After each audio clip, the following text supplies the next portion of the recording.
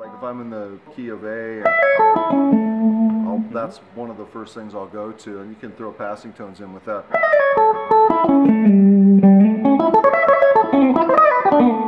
Like that. So I'm just uh, filling in uh, from the third to the fifth, and I'm just climbing through all the chromatic notes.